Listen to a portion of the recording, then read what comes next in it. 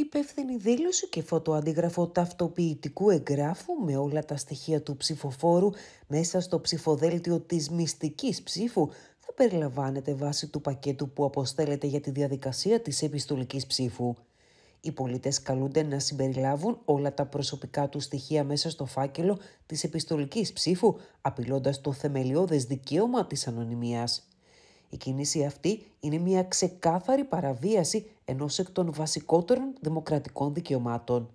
Η Υπουργός Εσωτερικών Νίκη Κεραμέο υπεραμείνθηκε της νέας διαδικασίας, ισχυριζόμενη ότι η υπεύθυνη δήλωση είναι απαραίτητη για την επικύρωση της ταυτότητας των ψηφοφόρων και την αποφυγή νοθείας.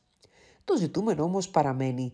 Για ποιο λόγο, αντί να προστατεύονται τα δικαιώματα των ψηφοφόρων, επιβάλλονται μέτρα που μπορούν να χρησιμοποιηθούν για την καταστρατήγηση του απορρίτου της ψήφου.